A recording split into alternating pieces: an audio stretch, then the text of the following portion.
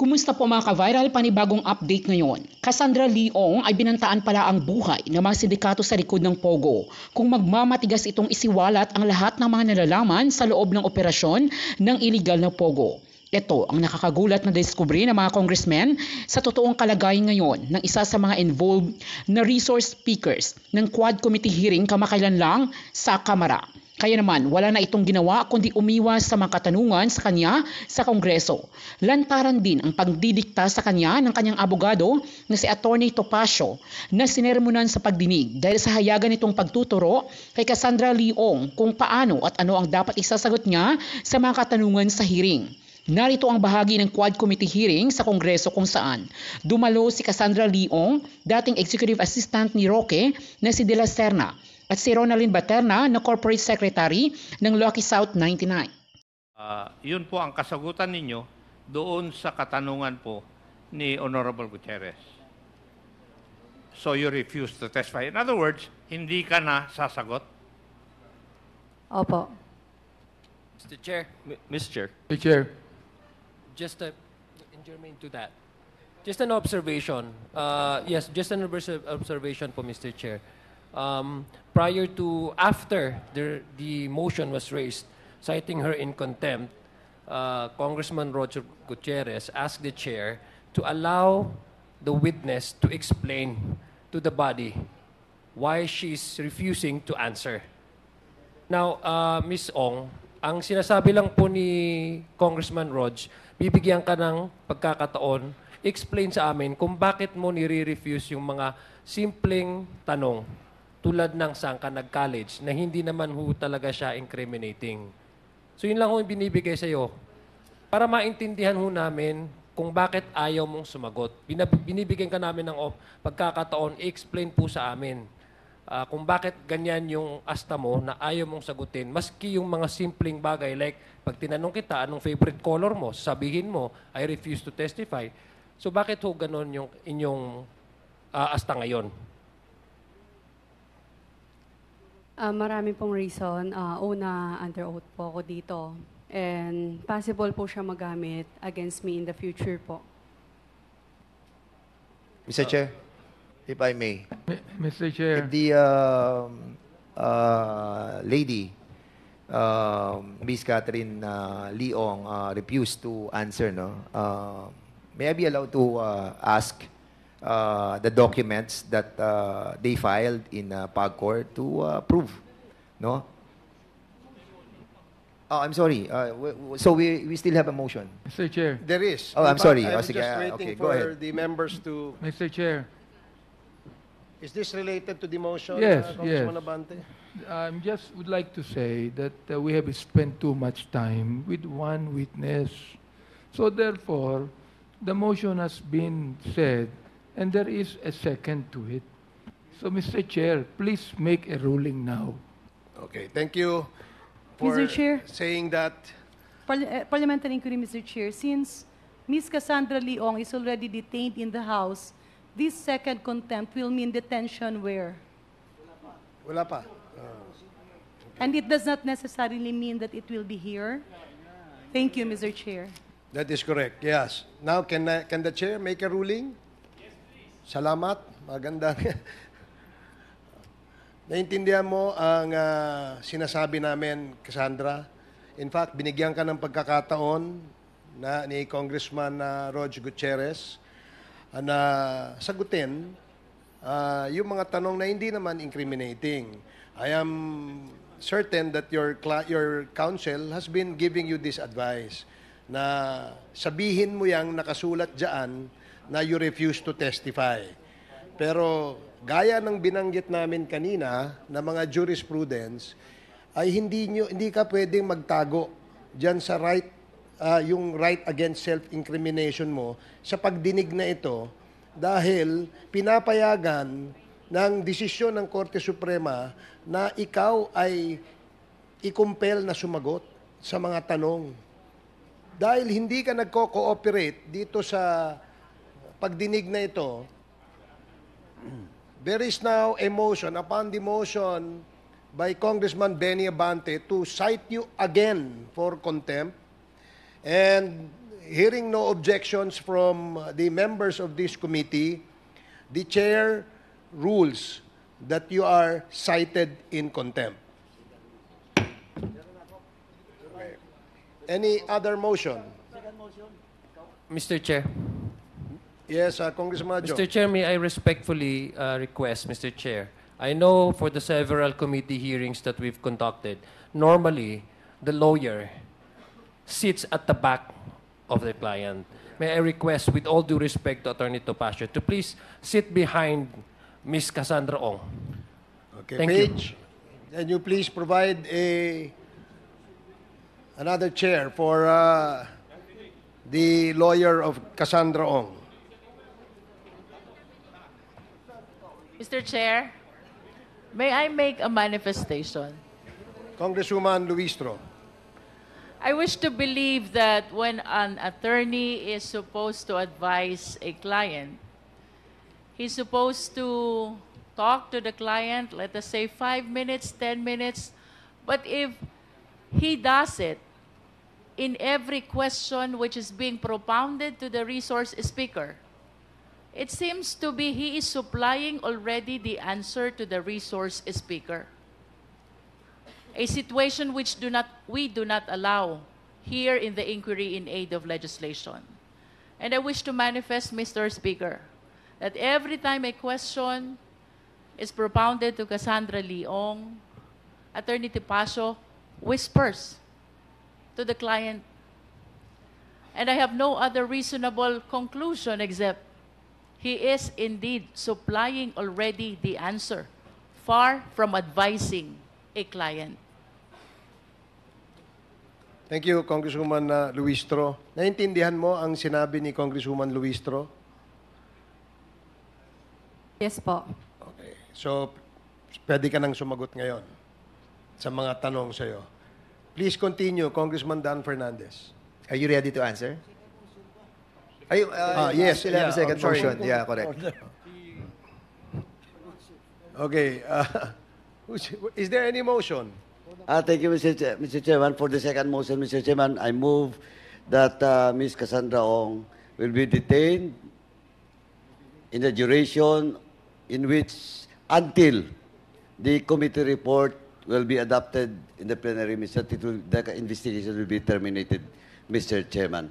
There is a motion second. to detain her as long as this committee uh, hearing of the Quadcom uh, completes its investigation, which, as of this time, as we speak, is still under contempt, and you will be detained as a penalty for violating Section 11 of our rules.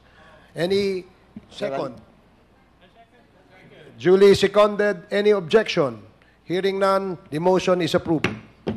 Okay. Mr. Chairman. Next motion.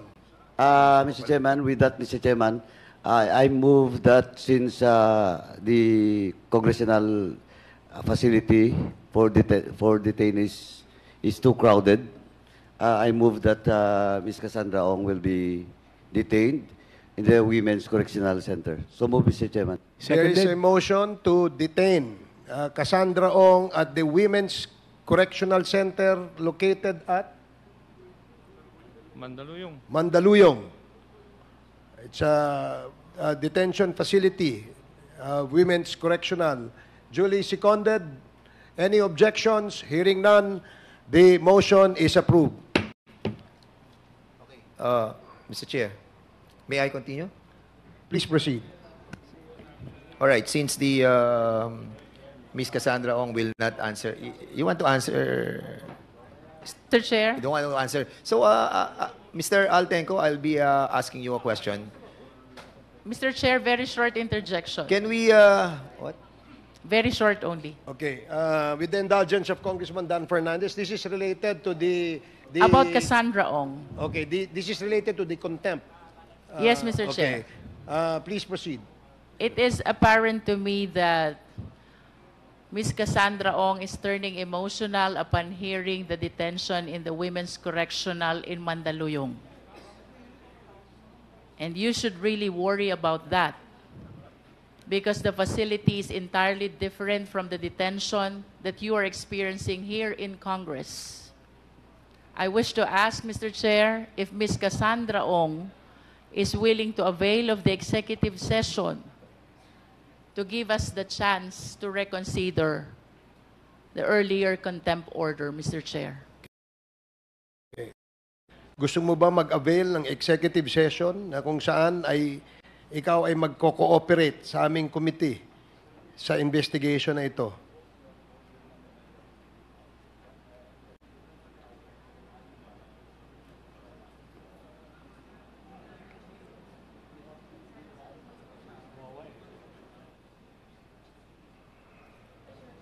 Kasi, kasi baka you want to, to say something sa executive session, ibig sabihin, kami-kami lang.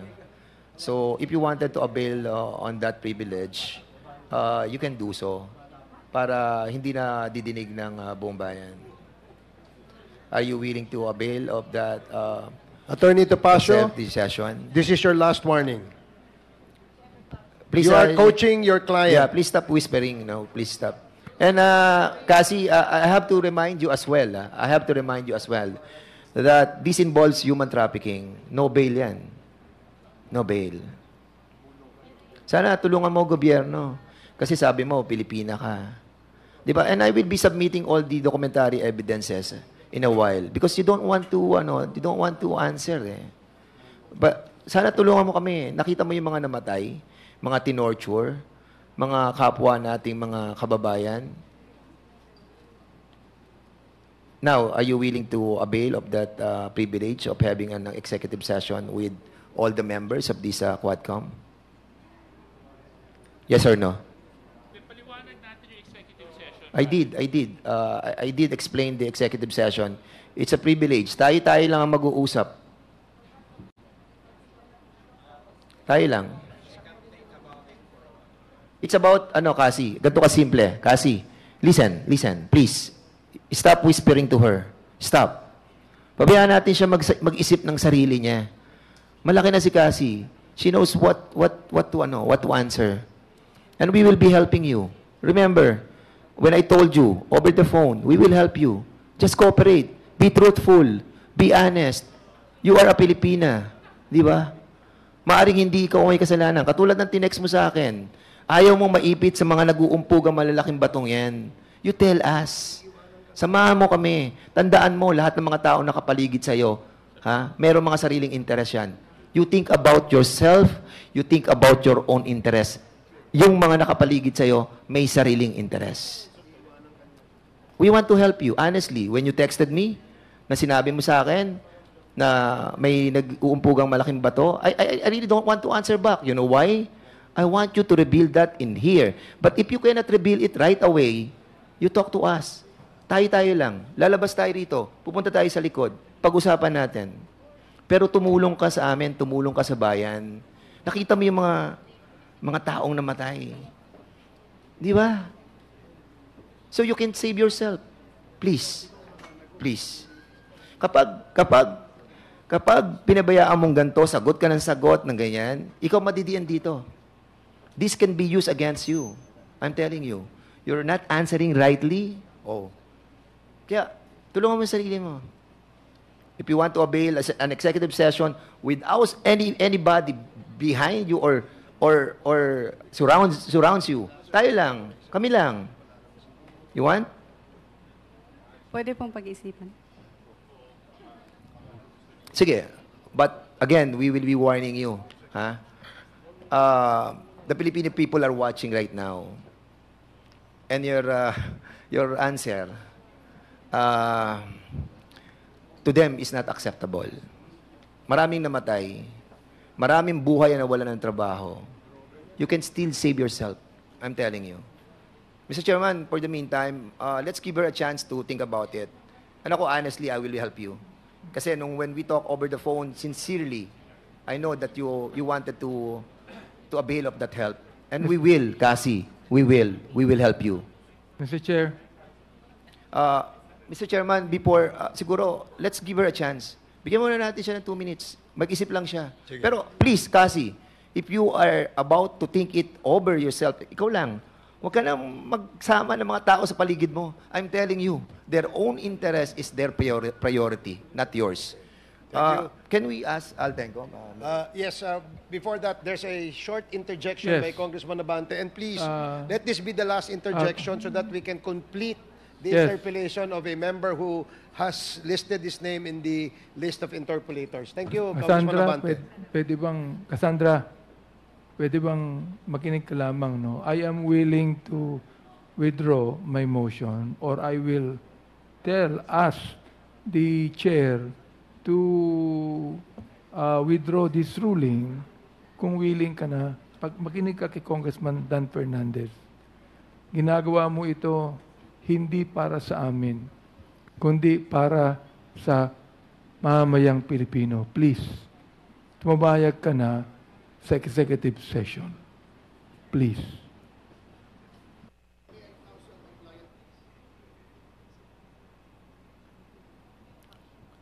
Uh, Okay. Mr. Chair, uh, the, the, uh, the resource speaker is asking for a time for herself.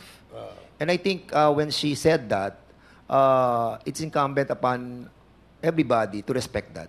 So let her think by herself. Huwag na nating isama itong mga nakapalibot dito. Nako-confuse yung bata eh. She's still so young. 24 years old. Di ba? Accepting so many... Cassandra, we wanted to help you. Really. Honestly. Ma- Sir, can we proceed? Please proceed. Don't allow Cassandra na malapitan po ng ano. I, I mean, bigyan po natin ng pagkakataon yung sinabi niya na she wanted to think about it herself. Okay? Uh, can you, uh, yung picture number one, pakikita lang po natin. Pick one. Pakita lang natin. Cassandra, uh, yan. Uh, I want to show you, ano, uh, para at least alam mo rin, Cassandra, that uh, we have all the documents pertaining to the um, to the uh, Whirlwind Corporation and, and the ano and the uh, Lucky South 99. Sin- From uh, 2022 up to present, uh, executive assistant ka ng Whirlwind Corporation. And this was submitted sa PAGCOR. Uh, 2019, uh, Lucky South 99, uh, consultant ka na. 2023, nasa Lucky South 99 ka, outsourcing as authorized representative. And meron kang tinatawag ng 2021 up to present, yung Kape Forest. And this Kape Forest is uh, very crucial to, ano, uh, uh, Cassie. So uh, we will be asking you sana din mamaya about this. But next picture. Pakita po natin yung picture ng PIC 11. So sa PIC 11 po, um, picture 11,